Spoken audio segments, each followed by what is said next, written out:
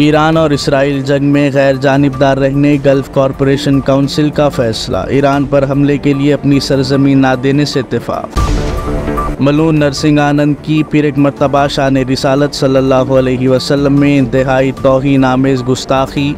मलून की गिरफ्तारी के लिए मुल्क भर में मुसलमानों का मुतालबा। फ़िल्म अदाकार गोविंदा हॉस्पिटल से हुए डिस्चार्ज, तीन दिन कबल पैर में गोली लगने से हुए थे दवाखाने से रुजू। महाराष्ट्र असेंबली के डिप्टी स्पीकर नरहरी जरवाल तीसरी मंजिल से लगा दी छलांग। गिरिजन रिजर्वेशन के एहतजाज के दौरान डिप्टी स्पीकर ने की ये हरकत। इमारत को जाली लगी रहने से रहे महफूज।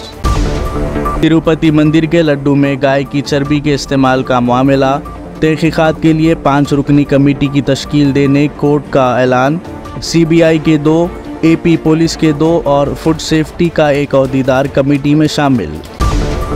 अक्टूबर 6 को तेलंगाना चीफ मिनिस्टर रेवंत रेड्डी करेंगे दिल्ली का दौरा। सैलाब की इमदाद में इजाफा करने की अमित शाह से करेंगे नुमाइंदगी। मरकज़ ने मंजूर की सिर्फ़ 421 करोड़ रुपए की रकम। तारक रामाराव और हरीश राव के खिलाफ हैदराबाद में मुकदमा दर्ज।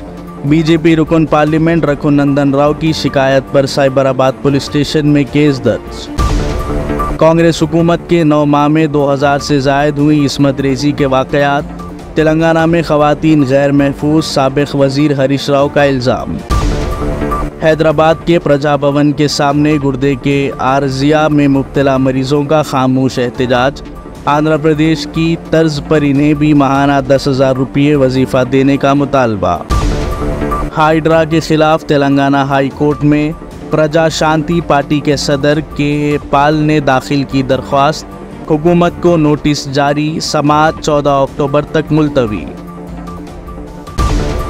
निज़ामबाद में तेलंगाना पीसीसी सदर महेश कुमार गौड का शानदार इस्तकबाल पीसीसी सदर बनने के बाद पहली मरतबा कर रहे हैं आबाई मुकाम का दौरा। नागार्जुना सागर में हाइड्रा की तरह कार्रवाई, बल्दिया और पुलिस की मौजूदगी में लक्ष्मण नामी शख्स का मकान मुनदम तेलंगाना के जूनियर कॉलेजेस को 6 से 13 अक्टूबर तक दशहरा की तातीलात 14 अक्टूबर से कॉलेजों की दोबारा कुशादगी। तेलंगाना के जनगांव में दो चौदह और पंद्रह साल की दो लड़कियों की इज्तमाही इसमत रेजी।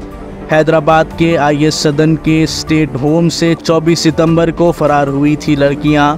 गैंग रेप के इल्ज़ाम में पाँच नौजवान गिरफ़्तार। जादू करने के इल्ज़ाम में खातून को इसी के घर में ज़िंदा जला देने का वाक़ तेलंगाना के मेदक ज़िले में पेश आया वाक़ दौरान इलाज खातून की मौत पुलिस ने किया तीन अफराद को गिरफ़्तार। रेत की गैर कानूनी मुंतकली में मदद करने वाले 16 पुलिस अहदेदार मुअत्तल। नौ अजला से ताल्लुक़ रखने वाले तीन इंस्पेक्टर्स और तेरह सब इंस्पेक्टर्स के खिलाफ multi zone IG P Satyanarayana की कार्रवाई। हैदराबाद विजयवाड़ा कौमी शाहरा पर कुछ ही वक्फे में गाड़ियों के दरमियान तसादुम एक बस अचानक रुक जाने पर पीछे आने वाली मज़ीद तीन बसें और वैन की एक दूसरे को टक्कर, दो अफराद ज़ख्मी।